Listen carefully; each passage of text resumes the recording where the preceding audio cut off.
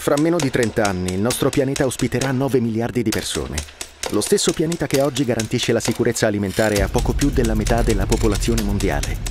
La sfida è produrre abbastanza cibo per tutti, tutelando l'ambiente. Ma come?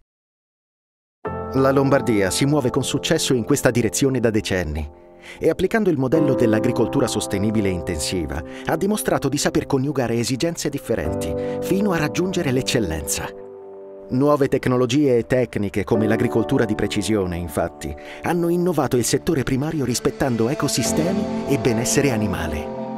L'economia circolare è il modello da seguire, anche attraverso i finanziamenti della politica agricola comune e del programma di sviluppo rurale. Gli animali producono fertilizzante per i campi, i terreni coltivati sequestrano CO2 dall'atmosfera. Fiumi e pioggia forniscono gran parte dell'acqua necessaria alle colture. Rendere efficienti questi meccanismi, facendo ricorso a metodi responsabili di protezione delle piante, assicura importanti risultati. Negli ultimi vent'anni, infatti, mentre le produzioni agroalimentari lombarde sono rimaste invariate, la superficie coltivata è diminuita del 50% e quella forestale è aumentata del 33%.